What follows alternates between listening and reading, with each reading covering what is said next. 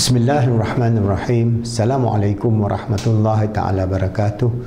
Alhamdulillah, alhamdulillah rabbil alamin. Wassalatu wassalamu ala asyrafil anbiya wal mursalin wa ala alihi wa sahbihi ajma'in. Alhamdulillah with the grace, mercy, love and guidance of Allah Subhanahu wa taala we continue our da'wah work from Khalifa Education Foundation and Positive Islamic Psychology Center to train inshallah over the next 12 10 years 12,000 PIP life coaches in Islamic motivation, coaching, mentoring, counseling. And our latest book is The Heart of Love. Huh? So if you want our PIP book, our Positive Islamic Psychology book, the soft copy you can get, you have the hard copy free of charge. What you need to do is just uh, WhatsApp to our handphone number or email to us and we give you a soft copy for your own use. Huh? Please do not publish it. Also, we have the same full book, e-book in Bahasa Indonesia. Jadi bagi mereka yang mahu buku ini untuk digunakan sebagai rujukan boleh uh, minta buku ini uh, e-booknya percuma. Nanti uh, insyaAllah tahun hadapan kami akan uh, buat hard copy-nya di Indonesia nanti ya. Eh.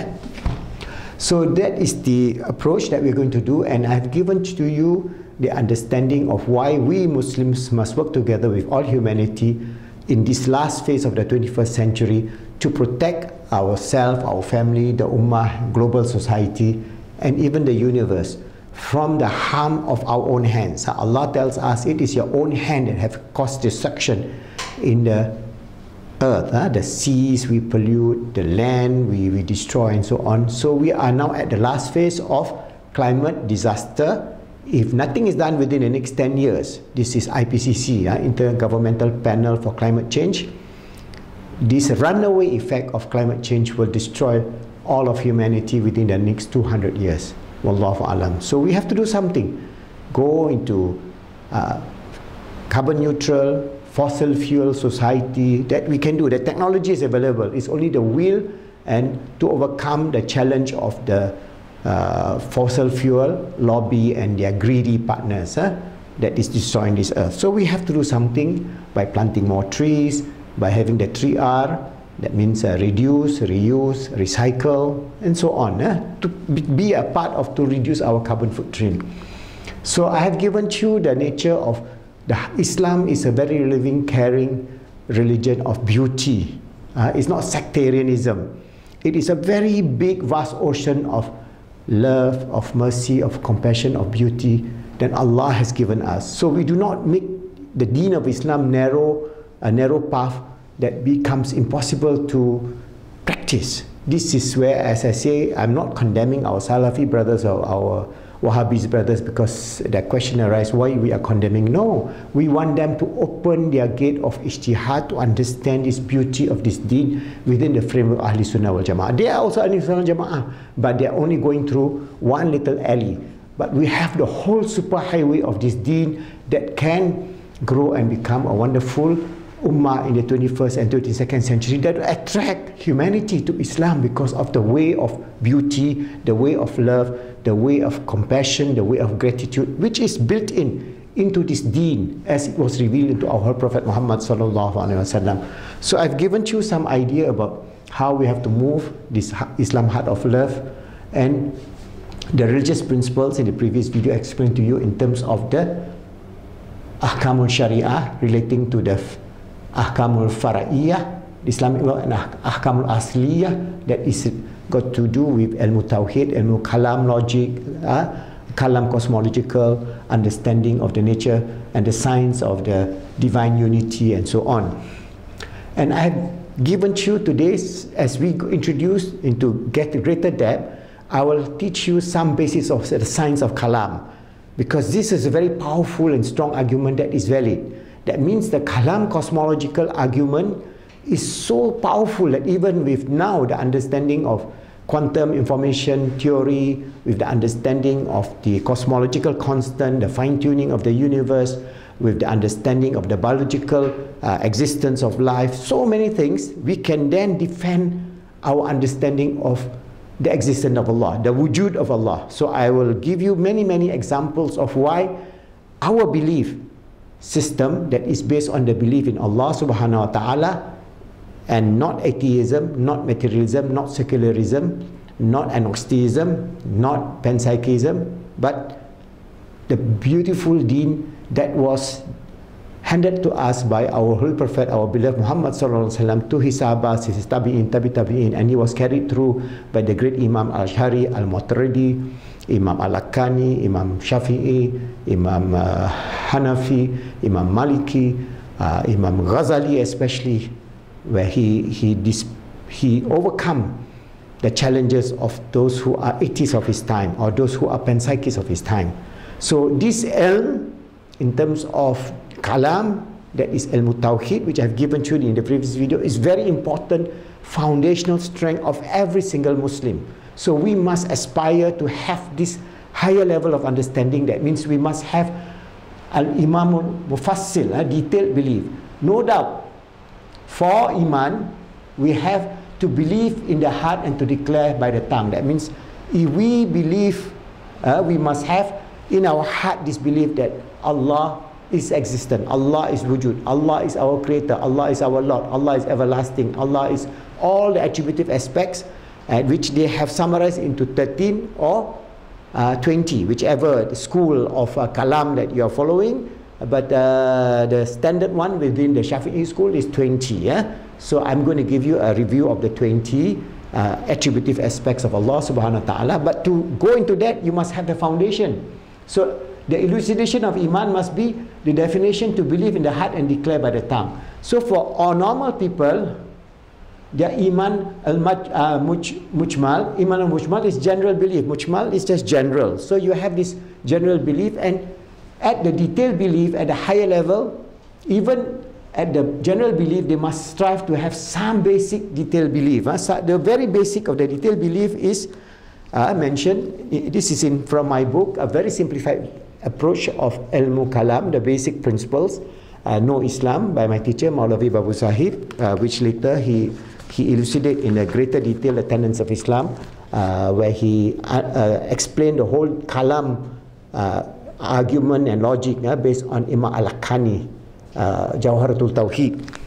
So, for the general belief is La ilaha illallah Muhammad Rasulullah. So, if you believe there is no God but Allah, that Muhammad is a messenger of Allah, and you believe it with your heart and you believe it declared with your tongue, you are a Muslim. That is how big the scope of Islam is. And then at another level, then you must go and have some studies, eh? some detailed belief, at least to understand the nature of our belief system. So our belief system is where Rasulullah sat with Jibril and uh, they sit knee to knee and uh, Rasulullah was asked what is iman and then Rasulullah explained in detail. Eh? amantu billahi wa malaikatihi wa kutubihi wa rusulihi wal yaumil akhiri wa qadri khairihi syahrihi min Allah ta'ala wal bath wal af wal bathi ba'dal maut which means uh, first I believe in Allah then I believe in the angels I believe in the books of revelation I believe in the messengers I believe in the last day and the power of doing good and bad action emanates from Allah the qada and qadar Allah the Lofty, and I believe in resurrection after death. So that is a basic understanding, the framework in terms of our al-imanul al-mufassal for us to move from here to here. So there are simple common folks who have the fullness ilmu because the three levels of belief are iman are first ilmul yaqin then ilm, uh, this is first ilmul uh, ilmul uh, uh, ilmul yakin, uh, ainul yakin, and then hakul yakin. Eh? So the first level is you have knowledge of your belief. The second level is you see ain, you see with your eyes. The third level you see with the eyes of hak. So there are three levels. Eh? So the example of this is very important. You may have a simple human being who is just an uneducated laborer who's laboring in the field, but he can have hakul yakin. Why? Because of his constant interaction with nature and his understanding of that everything's glorify Allah and he can feel within his inner depth of his heart that he is a believer with the heart that is fully aware of the presence of Allah. So he's close to Allah. So That is possible. But naturally, if you want to go to have this hakul yakin, you must have the fullness of the detail of belief, iman al-mufassal plus the understanding of the ilmu tauhid in detail. That is this ilmu kalam, uh, the, the understanding of the uh, kalam cosmological argument. Because this is where this battle was fought over the 3rd, 4th, 5th, 6th, 7th century onwards, uh, especially during the time of Imam Ghazali in the 6th century onwards, where there, there is a lot of ideas that are in terms of atheism, ideas in terms of panpsychism, in terms of pantheism that is coming into Islam. There are ideas from the Greek logicians. So people are influenced, especially the Mu'tazilite. So this is where we have preserved this deen by understanding it. So what is important is for us, this three level of belief is first ilmul yakin, we must have the ilm, we must have the knowledge. Then we have the yakin. So it's just like example, if I tell you, you study, I study, say, for a professor, say Professor Ahmad.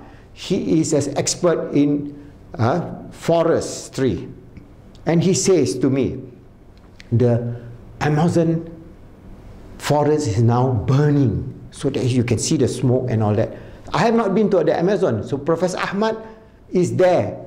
And then he came back and in a conference he, he tells me, you know the Amazon is burning, the lung of this earth is burning, and if we do not do anything of correcting this situation, then the whole of the world will be affected by climate disaster where the temperature is increased, the CO2 level increased, there's no trees to absorb the CO2 and so on. So that, that level, I believe in him. He, this is ilmu. He has the ilm as an expert in forests, professor. So I believe in him. So my knowledge is like that. So the same thing at the basic level, we believe what, for example, my teacher teach me, I believe from what he teaches me. So my teacher, Maulavi Babu Sahib, he taught me his books, and then I understand it, and I believe him because he's a trustworthy man. And then he gets from his teacher and his teacher, and then they go sanad by sanad until they reach the our Prophet Muhammad and all this ilm is codified within the framework of the ilmu tawheed. Alright? So that is ilm. But Ainul Yakin is another level. You see with your eyes the glory of Allah. And Ainul Yakin is once you go through Ilmul Yakin, you know with the depth of your heart, you see, for example, a butterfly. You don't see a butterfly. Just like this morning, I was just at my garden and I see a beautiful butterfly fluttering near me. And they go, they go into the flowers and then they suck the juice, the, the nectar, and then they go around. It's such beauty. At that, you see with your own eyes the glory of Allah. You see with your own eyes the ayn of the creation, the beauty of this creation. Where does it, all this come from? It must come from, from the grace, the mercy, the love, the creation, the commandment of kun fayakun from Allah subhanahu wa ta'ala. Then you begin to see that. That's second level of belief. The third level is experiential. This is part experiential. The highest level, hakul yakin that in your heart there's always the presence of Allah because Allah tells us in the Quran He is even closer to us than our jugular vein and Allah tells us in the Quran of our reliance on Allah where He tells us wa iza sa'alaka ibadi anni fa inni qarib ujibu da'wati da'i iza da'ani falyastajibu li wal yu'minu bi la'allahum yarshudun so when they ask you about me tell me I'm close to them I'm near to them let them then ask me, pray to me, and I'll respond to them. Uh, because and then you will be rightly guided. So at this level, hakul yakin, you have the fullness of the understanding of the revelation, the understanding of the presence of Allah that is ever with you. And when you realize that, that is the highest level of iman. Okay? So everybody must strive to this. All right? And this is not something that you cannot strive for. It's not like, okay, it is only for a few. No doubt, a few people will reach the, this highest level of understanding and living within the presence of Allah all the time. But if we can just have a taste of it, a little taste of it, Alhamdulillah, it is such a wonderful understanding and our iman will grow and our reliance on Allah will grow that we have no fear and no worry uh, because Allah tells us when you have the fullness of iman, la khawfun wa lahum yahzanun. You have the reliance on Allah, la khawfun wa lahum yahzanun. You have no grief, no, no fear of the future. And with that, you can then fulfill your life as a, the fullness of Iman, Islam, and Islam, Iman, and Ihsan, and the fullness of being the Caliph of Allah, always striving to make yourself good, help others to be good, and make the world good, inshallah.